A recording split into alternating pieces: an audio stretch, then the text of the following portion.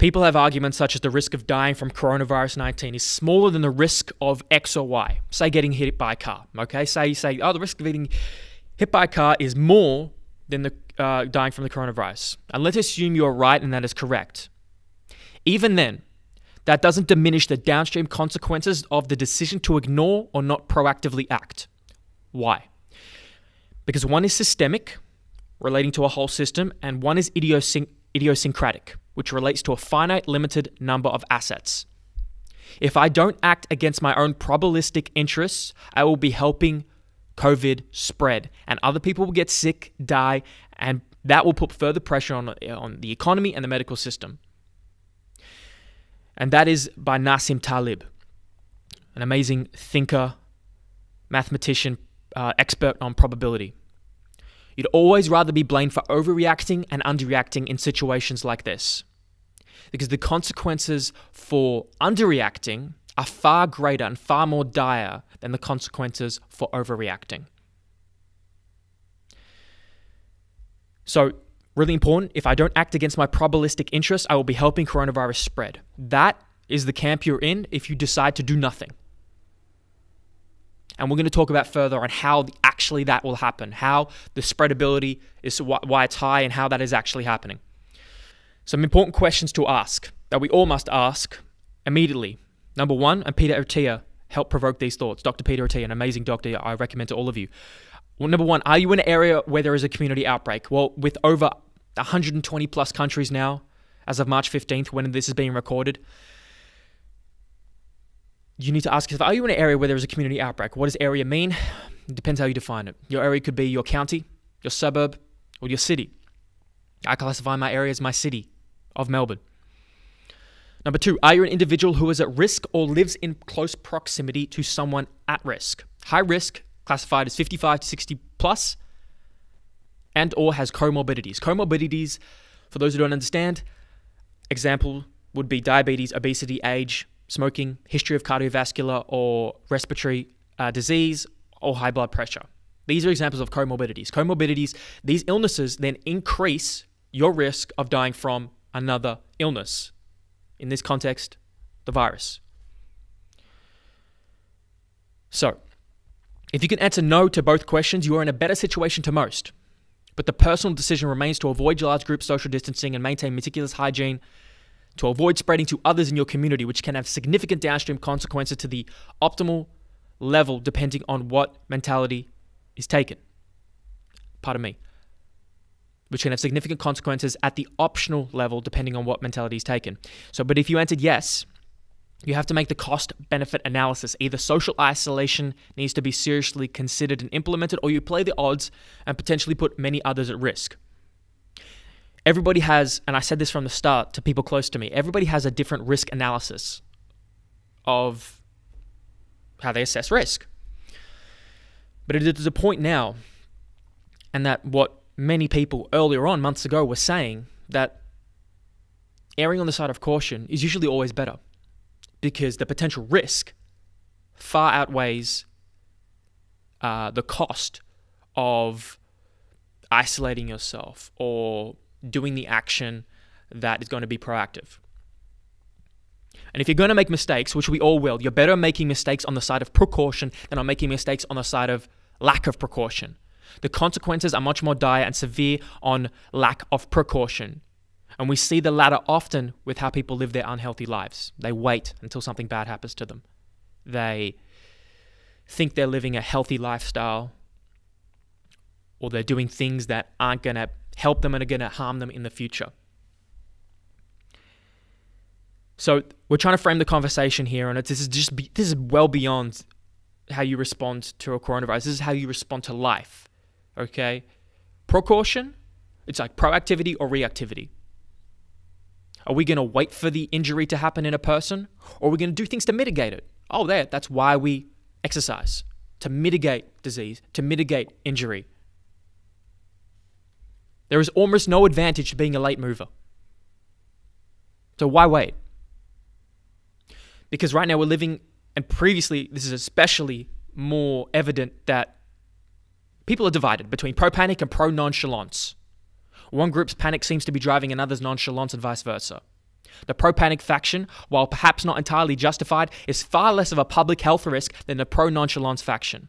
The later you panic, the less effective you will be, and the more you put others at risk. And people have this stigma around panic. And we're going to talk about the implications of stress and cortisol on the immune system. Panic. If that means you do something like basic emergency stocking up that we all should have anyway, is that really panicking? There are so many reasons we should all have 14 days of, of food, water, supplies, have the ability to have electricity and gas and supply ourselves if anything happens, um, like services go down. That in of itself has nothing to do with the coronavirus, but but things like this teach us the effectiveness and the lesson of planning because anything can happen. It is not a matter of if, it is a matter of when. This could be a terrorist attack, this could be a biological threat, man made or not. Suffering, catastrophe, and pain and unfortunate circumstances are coming. You're probably better off, no, no, not probably, you are better off to prepare for those. So the folks accused of panicking are the people taking it too seriously. Is actually still the nonchalant who will panic eventually because they are totally unprepared. It's the classic ant and grasshopper dynamics. That is from Naval Ravikant. Is panic really worse than neglect and carelessness during an epidemic of this sort? Those who panicked early don't have to panic today. Nassim Taleb. And what we're seeing is a lot of people are suffering for something called normalcy bias. And I have, earlier on, you saw this. It's a tendency for people to believe that things will always function the way they normally have functioned and therefore underestimate both the likelihood of a disaster and its possible effects. People go about their lives living under, this, under the normalcy bias when their loved ones are parents, family members who are doing potentially things that could harm their health. They don't consider the consequences of them and that they could be ill and die from them at any moment. Normalcy bias is expressed itself also just with everybody. All your friends and all your family, everybody you know will eventually die. And we have this tendency to assume and subconsciously assume that everything will remain the same and it will be fine. While we still know at the back of our mind that we see suffering catastrophe all around us, but no, it can't happen to us. And so normalcy bias is especially relevant here, especially earlier on in the January, February months of 2020 when people downplayed the potential ramifications of this virus, even though we saw very clearly the implications in China and the consequences there. Not taking risks one doesn't understand is often the best form of risk management. Another analogy I like to frame the conversation with is that we put on our seatbelt to protect us for when an accident happens. We don't expect to get in an accident today, but we protect ourselves and prepare anyway for the eventual couple times in our life that it will, it will eventually occur. So, what's the seatbelt? The seatbelt is the preparation. The seatbelt is, well, it was and still is for some people, four weeks worth of food, water, cleaning equipment that you can clean your environment with for you and your family. I live in a country where we have a lot of bushfires, or also known as wildfires.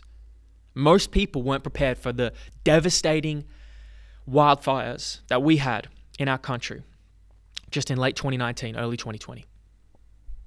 They weren't prepared. They didn't have masks because then we had terrible, terrible air quality that was that peaked into the into the worst in the world often. And there are going to be a lot of down, there are a lot of consequences of this on respiratory function and all cause mortality.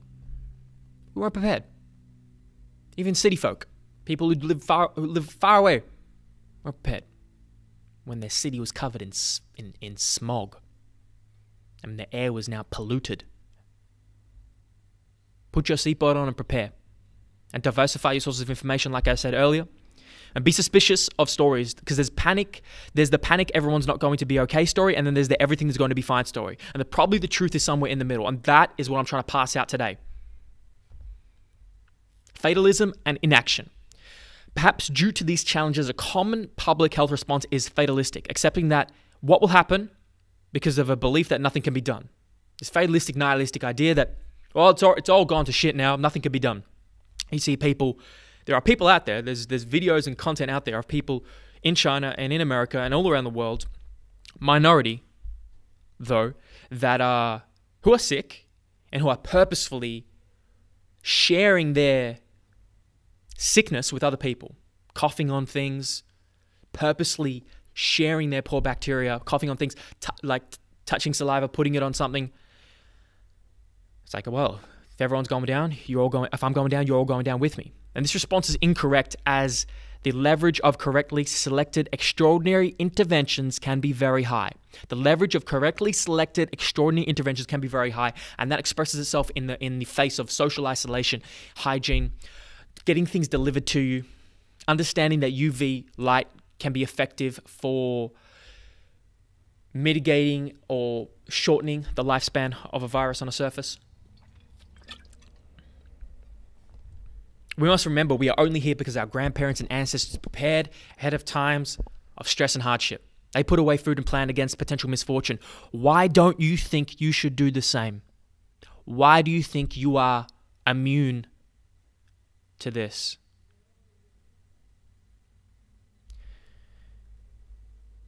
This is a summary by Nassim Taleb. Multi-scale population approaches, including drastically pruning contact networks, using collective boundaries and social behavior change, and community self-monitoring are essential. Together, these observations lead to the necessity of precautionary approach to current and potential pandemic outbreaks that must include constraining mobility patterns in early stages of an outbreak, especially when little is known about the true parameters of the pathogen. You see, there were experts out there warning against this that we must constrain our mobility patterns in the early stages of an outbreak, especially when little is known, because when little is known, we are ignorant and we can get caught off guard very easily. And that is what is happening all around the world right now. You see, regardless of whatever happens with COVID, it is not about so much what is happening now. It is about the future of what worse things can happen and will happen. This is the lesson. And some argue that we should have learned 10 years ago with SARS, or rather 20 years ago with SARS, and 10 years ago with MERS. Well, here's another wake up call.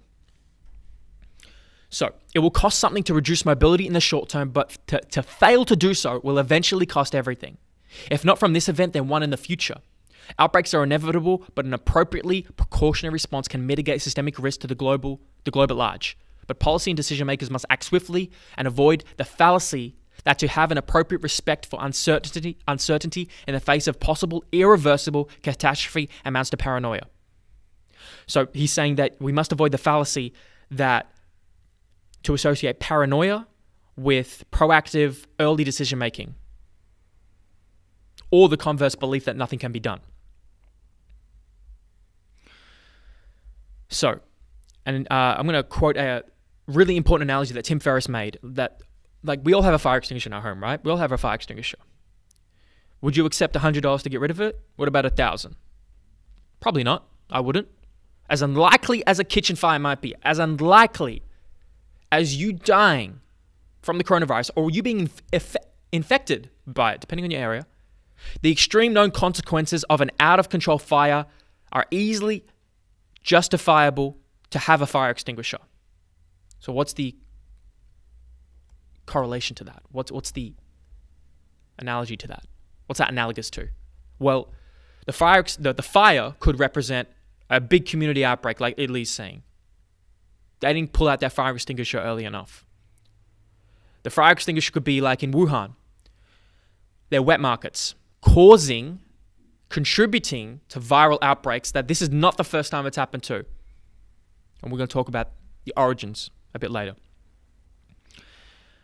The fire for you could be you and your family getting sick. And maybe one of them has some comorbidities and over 60, and one of them gets seriously ill. And for one of you listening, you're going to know someone who's going to die. At least one of you will. Even though some folks thinks think uh, of me, think of me, or let's say people think of you as a risk taker. It's about a, being a risk mitigator. You're putting on your seatbelt. It's easy to mitigate a lot of the downside risk until the data paints a clear picture. And sometimes when you wait for the data to paint a clear picture, it's too late. Panic rarely creates a proper response to anything. Some say. If you are healthy, have a solid immune system, not within the age risk, and use basic precautions, you're probably going to be fine. You're probably going to be fine. Like we know 80% of the cases experience mild to moderate symptoms. But that doesn't take into consideration older populations who are at higher risk. Some of our colleagues who are infected also have infected relatives, and some of their relatives are already struggling between life and death. So be patient. You can't go to the theater or the museums or the gym. Try to have pity on the myriad of old people you could exterminate. We all know and have, we all know people who are 60 plus with comorbidities in our life. We all, if we don't have a grandparent, we know someone who does, close to us. So it, it, while it may not be able to relate to you directly, it can and likely will via proxy of someone you know. And then, and only then, will you likely really care. But maybe this can provide some framework on why you should now.